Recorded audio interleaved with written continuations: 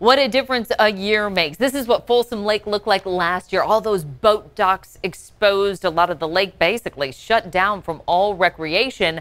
But now fast forward into 2022 and this is what that looks like. The boats are ready for the holiday weekend and recreation returns to Folsom Lake. Now, a lot of folks are asking, though, how can things be looking so good here at Folsom, nearing almost capacity, whereas many of our other lakes are looking low and well below average at this point. So let me show you some comparison numbers here. Uh, Shasta, our biggest reservoir at only 40% full, but again, Folsom almost 90% of full heading into that holiday weekend. Oroville, another big water resource for us, only 55% full. So many of our averages are very low, whereas Folsom 110% of average. But there is a very clear reason of why this is happening, and it boils down to our atmospheric rivers. This year, we got hit with one of the biggest atmospheric rivers to come through, an exceptional one, category, just one of them that came through that category five atmospheric river,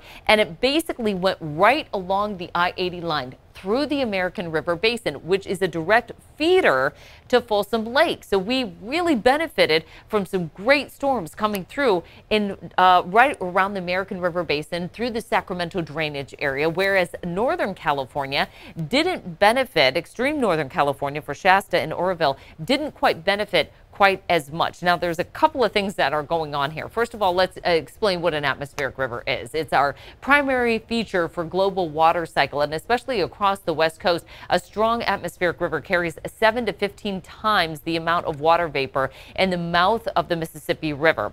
The presence of atmospheric rivers can either lead to flood or a normal water year, but the absence of atmospheric rivers leads to drought. And that's what we've seen over the past couple of years. So we basically got one huge storm that brought us all the snow in the Sierra and a couple of storms coming through in December, and then things basically shut down. The northern Sierra only 22% of average right now, 9% for the central Sierra and southern Sierra at 2% of average. Now, one of the key things here is keep in mind we're not going to see much in the way of more snowfall coming into the Sierra, just a few snowflakes here and there. In fact, we may even get some snow showers for the Memorial Day morning uh, outlook with temperatures in the 20s and a weather system moving through, but that's not going to be enough to fill our water basins. As far as the water path, what happens is we get the snow in the high country. We get to some of these warmer, drier months and everything starts to melt. Gravity is going to take it downstream. So for the American River, again, this is where those atmospheric rivers were hitting right along the I-80 and Highway 50 line in that corridor here. And we benefited for the Tahoe Basin. Got some of that snow coming through the Feather River Basin for Oroville, but here's the catch on that.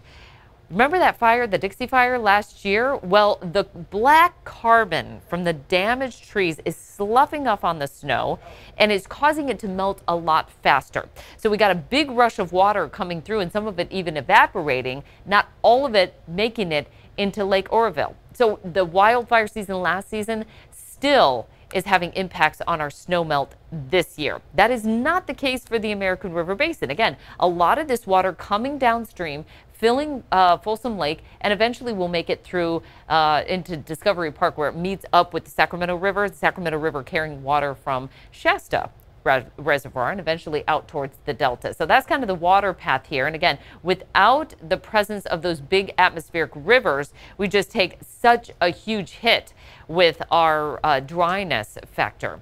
Now, when we look at the water year 2022, this is the atmospheric river that I was talking about. It hit in October. It was category five. That's the most extreme category that we can get, and it, was an exceptional uh, atmospheric river.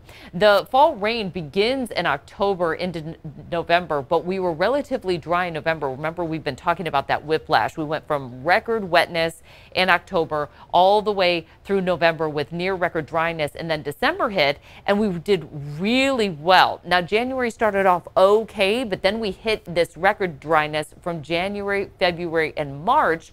And keep in mind, December, January, and February, that's 50% of our annual precipitation typically. When we hit record dryness for two of those months, that's not a good sign for what's ahead for the dry part of the year. So March and April, we got a few storms coming through. May, a few very light storms coming through, but that's when we start to hit that peak snowmelt. So at this point, we're into our peak snowmelt. What we see is what we get for our reservoirs. So the fact that Folsom is looking so good is obviously very good news because now our water demand hits its highest mark and that will last all the way through September.